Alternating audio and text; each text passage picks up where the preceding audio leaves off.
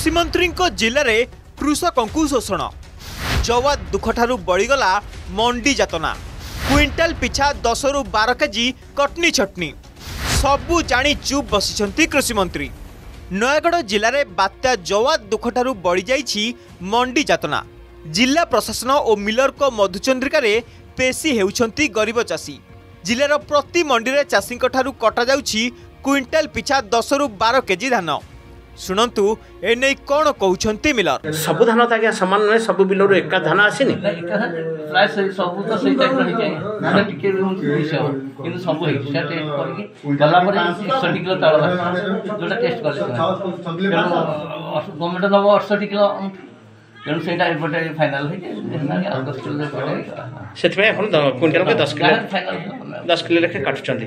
ଏଇଟା ପ୍ରତି ମଣ୍ଡିରେ ଆଜ୍ଞା ହେଉଛି? ହଁ ସବୁ ମଣ୍ଡିଆ ଏମାନେ ସମସ୍ତେ ମିଲି ଭଗତରେ ଆଜ୍ଞା ଦଶ କିଲୋ ବାର କିଲୋ କାଟଣୀ ହେଉଛି। ଏ କାଟଣୀକୁ ବିରୋଧ କରୁଛୁ ଯେ କାହିଁକି ତମେ ଦଶ କିଲୋ କାଟଣୀ ନେବ? ଏଫେକ୍ୟୁର ମାନଟା କ'ଣ? ଚାଷୀଙ୍କୁ ଠିକରେ ବୁଝେଇ ଦିଅ।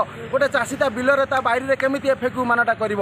ସେଇ ମାନଟାକୁ ଆଜି ଦେଖିବା ପାଇଁ ବର୍ତ୍ତମାନ କଥାବାର୍ତ୍ତା ଚାଲିଛି। ଆଉ ଆଜି କଲେକ୍ଟର ଅଛନ୍ତି ସବ୍ କଲେକ୍ଟର ଆସିଛନ୍ତି କଥା ହେଲେ। ଆଉ ସେମାନେ ସିଏମ୍ସିକୁ ଡାକିଛନ୍ତି ଆର୍ସିଏମ୍ସିକୁ ଡାକିଛନ୍ତି। ଏଠି ବର୍ତ୍ତମାନ ଟେଷ୍ଟ କରାଯିବ ଧାନ ଏଫେକ୍ୟୁ ମାନ। ବର୍ତ୍ତମାନ ଏଠୁ ଗାଡ଼ି ଲୋଡ୍ ହୋଇକି ପଛକୁ ଗାଡ଼ି ଲୋଡ୍ ଅନଲୋଡ୍ ହୋଇକି ଆସିଲା କିନ୍ତୁ ଏଇ ଗାଡ଼ିରେ ଧାନ ମୋର ଲୋଡ୍ କଲେ ନାହିଁ କାଲି ଧାନ ନେବେ ବୋଲି କହୁଛି ଆଜ୍ଞା ବେପାରୀ ଆଣିକି ଧାନ ଏଠି ଦଉଛନ୍ତି କିନ୍ତୁ ଚାଷୀ ମାନଙ୍କ ଧାନ ଏଠି ଯାଉନାହିଁ।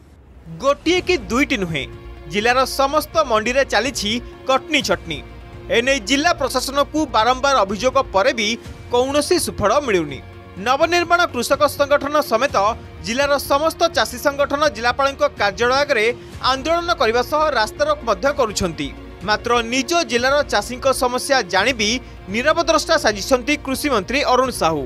ଯାହା ରାଜ୍ୟ ସରକାରଙ୍କ ମିଲରଙ୍କ ପ୍ରତି ଥିବା ଅହେତୁକ ଅନୁକମ୍ପାକୁ ପଦାରେ ପକାଇଛି।